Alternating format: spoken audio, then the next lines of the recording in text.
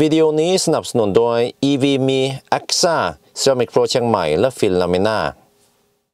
สวัสดีครับ ตอนนี้นะครับ เราอยู่ที่ออสเตรเลียเตรียมตัวจะขับ 1,000 กิโลเมตรกับ BYD Han ที่เมืองไทยยังไม่เข้านะไม่รู้วันหนึ่งมันจะเข้าไหมที่เมืองไทยก็มี BYD BYD Auto 3 แต่ว่านี่นะ เดี๋ยวให้ดูนะ รถนี่มันงามเลยนะเนี่ย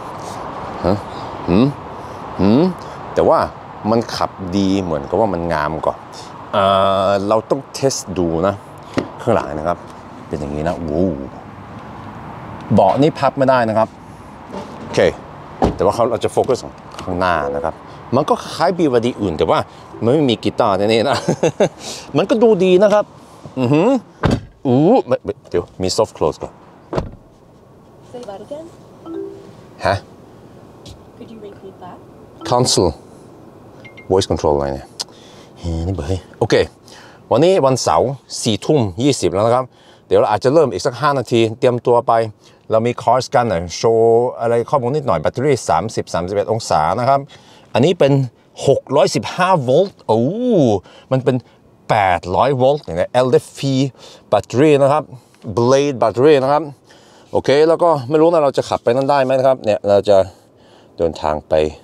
s p e c u l a t 256 กิโลเมตรจากนี่อืมโอ้ navigation นี่ว้าว ไม่ได้ใช้ navigation นี่มัน snap อย่างนี้ตั้งนานแล้วส่วนใหญ่นี่มันช้ามากแล้วนะแต่ละคันเนี่ยนะคันนี้เนี่ยโอ้สุดยอดเลยนะฮะดูภายในอะคุณชอบใช่ไหมทำไมมันไม่เข้าเมืองไทยเนี่ยฮะทำไมเขาไม่ขายที่เมืองไทยเนี่ยฮะถ้าเป็นสัก 2 ล้าน 3 ล้าน 2 ล้าน 5 บาทนี่น่าจะขายดีนะ แต่ว่าเราต้องเทสดูมันดีจริงๆไหมรถจีนอะ อืม โอเค เตรียมตัวแล้วก็ไปแอลป่ะเร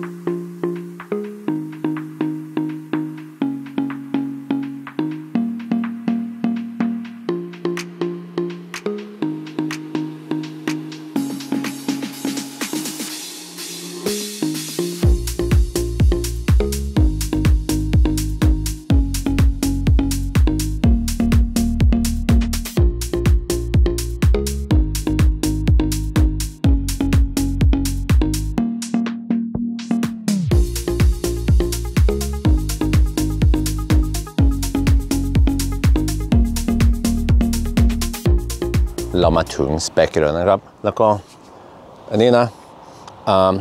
BYD Tang นะครับ ตอนมันเริ่มชาร์จแต่มันชาร์จช้ามาก มันจะรับแค่10 10กิโลวัตต์ตั้ง 3-4 นาทีกว่ามันเริ่มชาร์จเร็ว อันนี้มันเริ่มชาร์จเร็วทันทีเลยนะอู้แล้วก็ nice and flat charging curve เนี่ย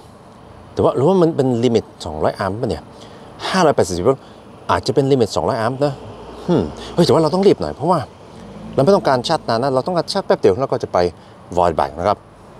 โอเคผมได้คลีนกระจกแล้วก็เข้าน้ำแล้วก็ตอนแรกมันก็รับ 115 กิโลวัตต์ตั้งนานนะฟลัดแล้วนะจนถึงประมาณนี้แล้วก็ตกไปถึง 73 ตัวนี้ต้องไปแล้วครับโอเคตอนนี้เรามี 44%แบตเตอรี่นะครับ แล้วก็เนี่ยเช็คตัวนี้นะ เรามีกี่กิโลวัตต์ผมใช้ Sport Mode นะครับ โอเค แล้วก็อุณหภูมิแบตเตอรี่เนี่ยนะเอ้ยทำไมมันรู้สึกช้า ฮะ แค่ 200 กว่ากิโลวัตต์ เฮ้ยเดี๋ยวเดี๋ยวเดี๋ยวเช็คตัวอีกทีหนึ่งฮะ มันจะต้องเป็น 500 แรงม้าแล้วนะครับ มันน่าจะเป็นสัก 300 300 กิโลวัตต์ โอ้ มัน rapid gate อันนี้นะครับ อุณหภูมิแบตเตอรี่ 46 องศา มัน overheat มัน rapid gate ฮะ ข้างนอกเป็นแค่ 21 องศาแล้วมัน rapid gate ไม่น่า BYD มันไม่กล้าขายนี่ที่เมืองไทย โอ้ถ้ามาใช้ที่กรุงเทพนี่ตายแน่ฮะนี่บอกเฮ้ยรถจีนอะมันเป็นอย่างนี้อะ rapid gate เดี๋ยวเดเดเราต้องเทสดูนะ โอเค อันนี้ไม่รู้มันเชื่อได้ไหมใน 250 มันถาว่าเป็น 250 กิโลวัตต์ discharge power โอ้200 กิโลวัตต์แค่นั้นเหรอเดี๋ยวโอเค เดี๋ยวเราจะรอ เราต้องรออีกนิดหน่อย อันนี้ เราต้องรอให้อันนี้มัน cool down รอสัก 10 นาที แล้วก็เดี๋ยว test อีกทีหนึ่งครับ โอเค ตอนนี้นะครับ อุณหภูมิแบตเตอรี่มันตกนะนะแล้วก็มัน report ว่าเป็น 404 กิโลวัตต์นะ เดี๋ยวจะลองเร่งนะครับ ผมได้ใส่ใน sport mode ดูอันนี้นะครับ โอ้ตัวนี้มันเร็วนะ โอ้330กิโลวัตต์ฮะแสดงว่ามัน rapidgate ใช่ อันนี้มันร้อนไป แต่ว่าผมสงสัยนะว่า Atto 3ที่เมืองไทยตอนผม test นะ มันคงจะ overheat เหมือนกันนะครับ เพราะว่าถ้าลองกลับไปคิดดูนะมันจะชาร์จช้ากลางวันนะครับ แล้วก็แต่ว่าตอนกลางคืนแล้วก็ตอนเช้ามากมันจะชาร์จเร็ว เพราะว่าแบตเตอรี่มันไม่ overheat โอ้เอ่อที่เมืองไทยนี่ผมว่ามันสำคัญนะ แบตเตอรี่มันไม่น่าจะ overheat นะครับ เออแล้วก็นี่มันก็เป็น active cooling อะทำไมมันมัน overheat ได้ไงอะทำไมมันไม่ใช่เป็น Leaf นะเนี่ย มันเป็น Atto สามเออเออนี่ปล่าเฮ้ยรถจีน well well well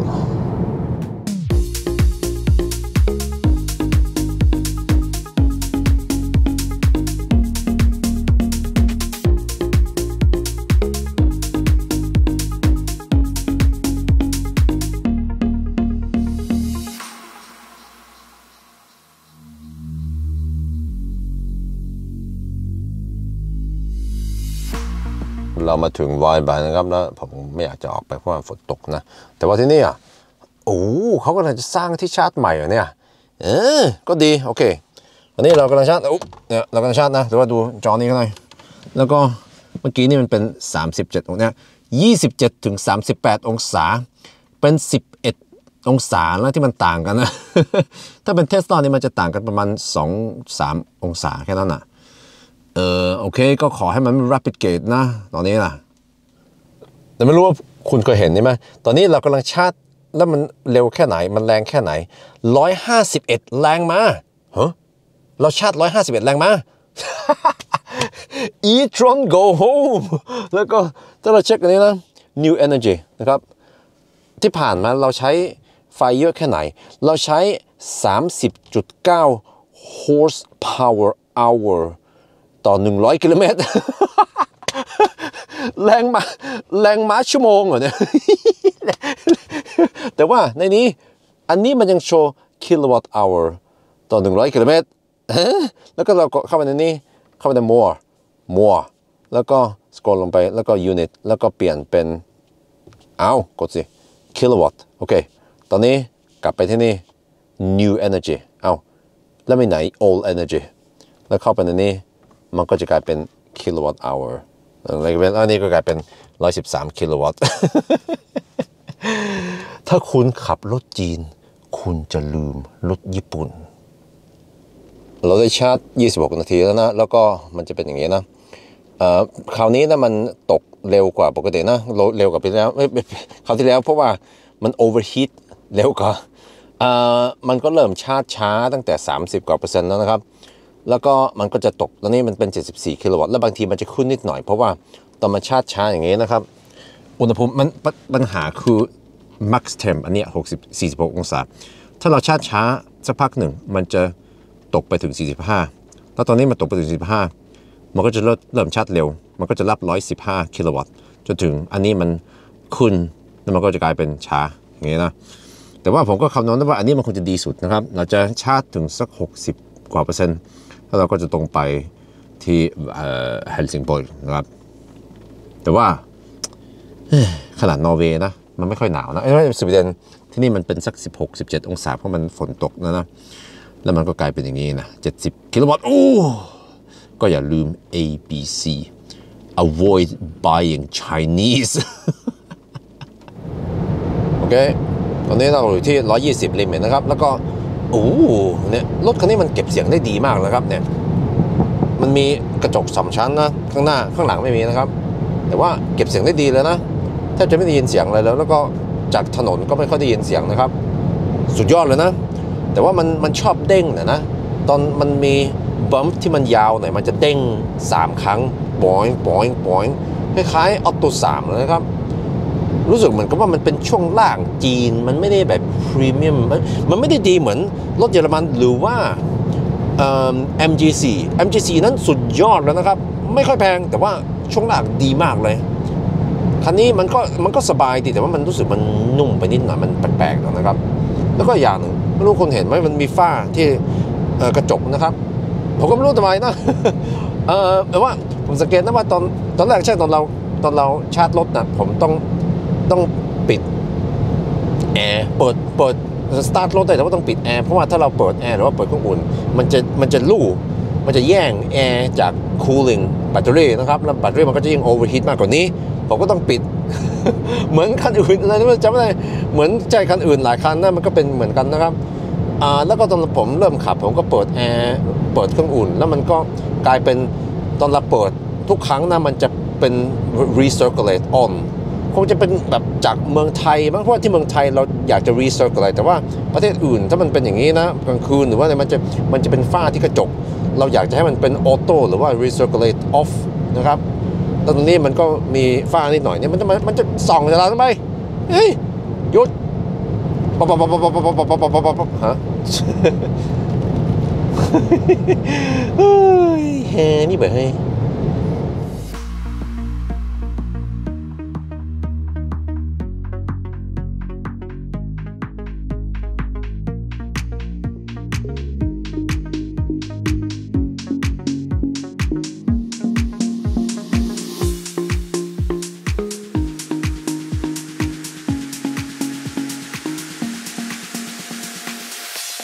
เรามาถึง Circle K Helsingborg Ionity นะครับ แล้วก็กำลังชาร์จ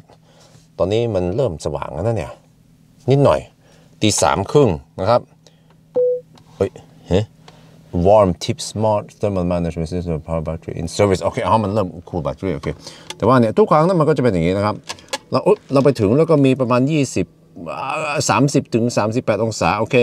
27 38 องศา เราก็จะรับ 114 115 กิโลวัตต์ จนถึงอันนี้มันเป็น 45 องศา มันจะ rapid gate เดี๋ยวลองลองดูนะมันมันจะเป็นยังไงตอนนั้นนะ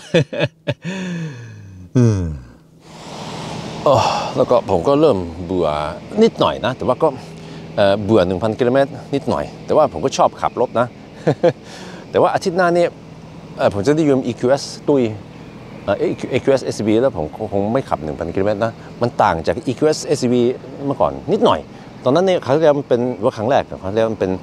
EQS SUV เอ่อ58 580คราวนี้มันเป็น 450 เออก็เราควรจะไปเที่ยวที่อื่นแทนนะ ตอนนี้ก็แล้วก็แต่ว่าผมก็ว่าบางทีมันจำเป็นไม่ต้องเทส 1,000 กิโลเมตรที่จริงก็ดีว่าเราเทสคันนี้เพราะว่าเราเจอปัญหาที่ปกติเราอาจจะไม่เจอถ้าเราขับไปที่อื่นแถวอื่นใช่ไหมก็นั่นนะแล้วก็นี้เนี่ยโอ้เบรกมันดูดีนะ Brembo brakes อู้ใหญ่มากข้างหน้า ข้างหลังก็ดูดีนะเนี่ยเฮ้ดูเท่ดี แต่ว่าที่มันไม่ค่อยเท่คือ thermal management ของคันนี้ โอ้ 46 degrees Celsius rapid gate time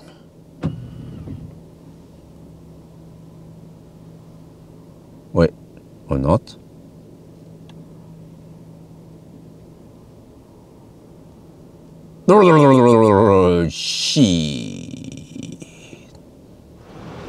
โอเค เราชาร์จ 34 นาที แล้วตอนนี้เราพร้อมที่จะปิกไปบอยไบนะครับ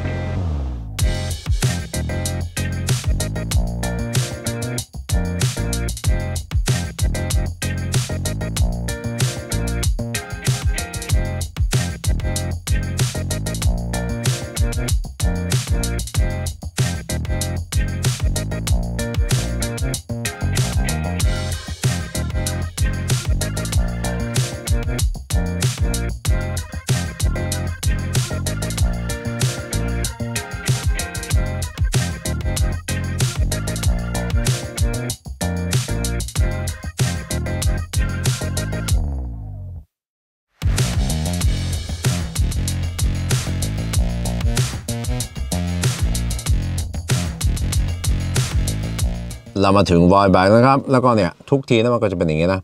37 องศาที่นี่นะครับ113 กิโลวัตต์จนถึงมัน rapid gate โอเค เรียบร้อยออตอนนี้วันตอนเช้าแล้วนะวันอาทิตย์นะครับ แต่ว่าเนี่ยผมก็อยากจะรู้อยากรู้อยากเห็นนะว่าอันนี้มันคืออะไรเนี่ย สงสัยว่ามันคงจะมี ไม่รู้มันจะเป็นมันจะเป็นคอนกรีตไหมที่นี่ยแล้วก็มีที่ชาร์จ ผมสงสัยว่าอาจจะมีที่ชาร์จอยู่ที่นี่แล้วก็มีที่ ขับเข้าไปนั่นแล้วก็แล้วนนี้ก็อาจจะมีที่สำหรับสองคัน ใช่ไหมอะหรือว่ายังไงเนี่ยแล้วนี่เขาขีดสี่เหลี่ยมอะไรเนี่ย ผมก็ไม่รู้ว่าทำไมอยู่ดีๆเขาจะขุดขึ้นมาอย่างนี้ใช่ไหมแล้วถ้ามันถ้ามันไม่เป็นที่ชาร์จมันจะคืออะไรเนี่ยเขาจะสร้างตึกเขาจะสร้างบ้านเนี่ยมันก็ไม่ใช่มันก็ต้องมันต้องเป็นที่ชาร์จใช่ไหมแล้วก็เดี๋ยวเขาคงจะขุดไปทางโน้นแล้วก็ไปต่อไฟอะไรที่โน้นไม่ไม่แน่ใจนะเนี่ย อันนี้มันเป็น transformer อยู่ที่โน้นนะ เดี๋ยวค่อยดูอีกที่นั้นะอีกไม่กี่อาทิตย์มั้งเขาจะดูว่ามันจะเป็นอะไรที่นี่นะครับเอาเราอยู่นี่ 12 นาทีนะครับ ตอนนี้มัน rapid gate เนี่ย 46 องศาทุกครั้งนั้นมันจะเป็นอย่างนี้ แต่ว่าตอนนี้เรามีไฟฟ้าพอแล้วเราจะไปชาร์จที่ Spectrum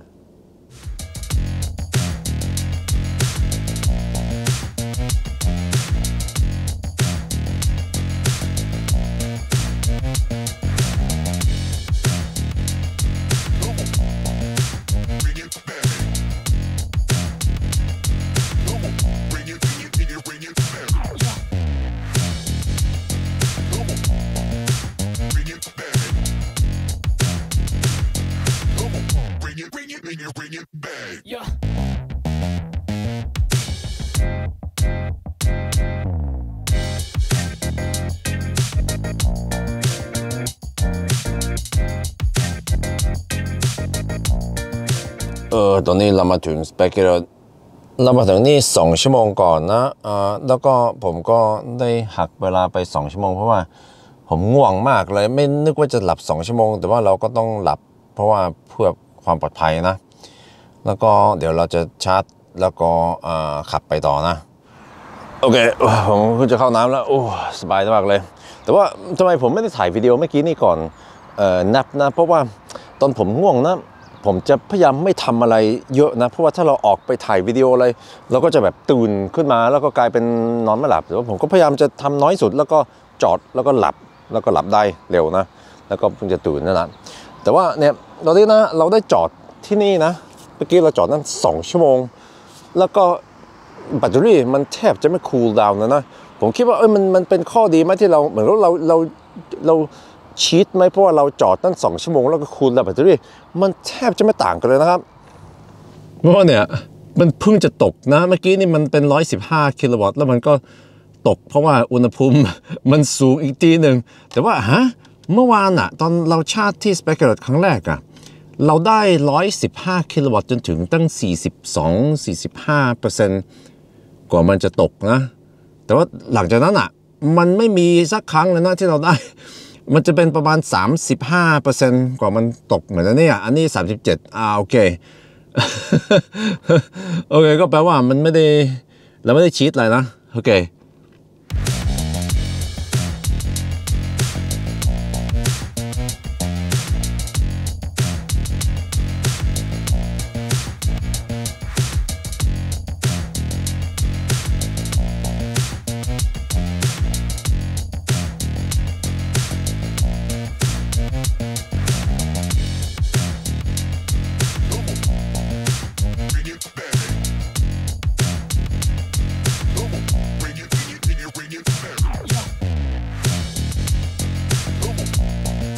เรามาถึง Strömstad นะครับ Ionity แล้วก็เราจะชาร์จครั้งสุดท้ายในทริปนี้นะครับ แล้วก็โอ้ผมก็ตกใจแล้วว่าไม่มีใครชาร์จนี่นะปกติมันอาจจะมีรถคันอื่นชาร์จนะวันวันอาทิตย์มันเช้าไปบ้างแล้วก็ในผมสังเกตอย่างนะคือบีบริหารนะ ทุกครั้งตอนเราเสียบชาร์จเราไม่ต้องกดเราไม่ต้องถืออะไรสายชาร์จอะไรมันจะ handshake มันจะ work ทุกครั้งเลยนะ ใช่บางคันมันเป็นอย่างนี้อะแต่ว่าบางคันนี่มันจะ fail ทุกครั้งเราจะต้อง ดัน ถ้าไม่ดันมันก็จะกลายเป็น fail handshake มันอาจจะเป็นเพราะว่าคันนี้นะครับมันมันเก่งกับ handshake เออโอเค เดี๋ยวเช็คดูนะ ทุกทีนะตอนมาถึงนี่เราก็จะชาร์จเร็ว จนถึงมัน overheat นะเนี่ยร้อยสิบหกร้อยสิบห้ากิโลวัตต์หรือว่ามันเป็นสักร้อยห้าสิบห้าแรงม้าแต่ว่าผมว่าข้างหลังนี่มันงามเนี่ยนะรถคันนี้ดูสิ โอ้โห มันดูดีนะคันนี้อะเออเท่ดีนะคุณชอบใช่ไหมอยากได้ที่เมืองไทยใช่ไหมเออคุณถ้าคุณจะซื้อนะ คุณน่าจะอยู่ที่เชียงดาวที่มันเย็นๆหน่อยนะครับ เพราะว่าอันนี้นะที่มันเขียนบัตรใช่ไหมฮัม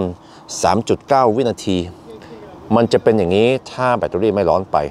ถ้ามันร้อนไปนี่ถ้าแบตเตอรี่ overheat นี่มันก็จะเป็นประมาณ5ถึง6วินาที แล้วก็ไม่ต้องพูดถึงอันนี้แล้ว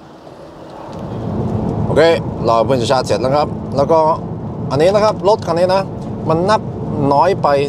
1.2%นะครับ แปลว่าเราต้องขับไปถึง 988 กิโลเมตรนะ มันจะเป็นครบ 1,000 กิโลเมตรนะครับ แล้วก็เราได้ชาร์จเพิ่มอีก 6 นาที เพื่อที่จะตรงกลับไปที่บ้าน แล้วก็หักไปอีก6นาที โอเค บวกลบคูณคูณหารทุกอย่างที่เรานับ 2 ชั่วโมงกันแล้วนะ แปลว่าเราดูเวลาตอนนี้นะครับ แล้วเราลบไป 35 นาที มันจะกลายเป็น 9 ชั่วโมงกับ 50 นาทีนะครับ ตอนนี้อะ เราต้องขับอีกสัก 100 กิโลเมตร มันก็จะครบ 1,000 กิโลเมตรนะครับ โอ้โอเค โอเค คันนี้มันน่าจะเร็วกว่า 11 ชั่วโมงนะครับ เราต้องขับไปทางเหนือนิดหน่อยนั่นนะมันน่าจะเร็วกว่าทาง ทางนี่เป็น 11 ชั่วโมง 25มันจำไม่ได้แล้วประมาณนั้นนะคันนี้นี่เร็วกว่าโอ้ right let's do the countdown 9991 9992 9993 9994 9995 996 997 998 9999 1000 time 1023 minus a bunch of stuff it becomes no t- t- 11 ding 10 hours and 45 minutes wow and consumption is uh, whatever unknown โอเค เรามาถึงบ้านแล้วนะครับ แล้วก็ 10 ชั่วโมงกับ 45 นาทีมันดีแค่ไหน เออมันเร็วกว่า Nissan Ariya เออแต่ว่านั้นเป็น SUV มันเร็วกว่า BMI X1 เออแต่ว่านั้นมันหนาวกว่านิดหน่อย ถ้าเทียบกับ Sedan นะ เออ มันก็ต้องเป็น Xpeng P7 นะ โอเคอันนี้มันก็เร็วกว่าตั้งเยอะนะครับเออผมก็ว่าโอเค10ชั่วโมง45มันไม่ได้แย่มากนะ มันก็โอเคนะครับ แต่ผมรู้สึกว่ามันชาร์จช้านิดหน่อย 115 กิโลวัตต์ถ้าเทียบกับแบตเตอรี่อื่นที่มันเป็นประมาณ 85 กิโลวัตต์ hour มันจะชาร์จเร็วกว่านี้ ถ้ามันชาร์จประมาณ 150 กิโลวัตต์แล้วถ้ามันถ้ามันไม่ rapid gate มันคงจะดีมาก มันคงจะใช้เวลาแค่ 10 ชั่วโมงนะครับ แต่มันก็กลายเป็น 10 45 มันก็ไม่ได้ มันก็ไม่ได้แย่ไปนะ ถ้าเราเทียบกับโอเคถ้าเทียบกับถ้า leaf rapid gate นะอันนั้นมันจะช้ามากนะครับที่คุณเคยเห็นนะ 20 กิโลวัตต์นะครับอันนี้มันก็ยังรับตั้ง 70 กิโลวัตต์แล้วบางทีมันก็คูลเรานิดหน่อยมันก็ชาร์จเร็วขึ้นหน่อยแล้วก็ช้าลงนิดหน่อย ถ้าเทียบกับ Toyota ตอนคุณมี social score น้อยไป เอ้ยไม่ใช่ ถ้า Toyota ตัวคุณชาร์จเยอะไปแล้วก็มี punishment point เยอะไปนะครับ มันจะชาร์จช้ามาก อันนั้นกลายเป็น 50 กิโลวัตต์หรือว่า 45 กิโลวัตต์ 30 กิโลวัตต์ อันนี้ตอนมัน overheat นิดหน่อย มันก็ยังรับตั้ง 70 กิโลวัตต์ มันก็โอเคนะครับนั่นแหละแต่ว่าผมก็ว่ามันโอเคมันมันไม่ได้ perfect แต่ว่ามันก็น่าจะทำให้มันดีขึ้นนิดหน่อย แต่ว่าไม่รู้ว่า BYD เขาแคร์ไหมแล้วคนจีนเขาไม่บ่นเรื่องนี้เหรอ ก็ไม่เป็นไรมั้งผมก็โอเครถมันก็ดี แต่ว่าผมก็ได้เจออย่างอื่นนะนะกับคันนี้ เพราะว่า BYD Han นะมันมันไม่ค่อยขายดีนะ ที่นอร์เวย์นะขายน้อย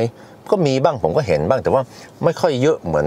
แบรนด์อื่น ถ้าเป็น Volkswagen เป็น Tesla เป็นแบรนด์อื่นนี่มีเยอะมากแต่ว่าคันนี้ไม่ค่อยมี แล้วผมคิดว่าผมรู้นะผมพบเจอนะทำไมมันเป็นอย่างนี้ แต่ว่าถ้าคุณอยากจะรู้ทำไมคนนอร์เวย์เขาไม่ชอบ BYD Han คุณต้องดูวิดีโออื่น อาจจะเป็นวิ่งได้ไกลแค่ไหนหรือว่าอย่างอื่นนะครับ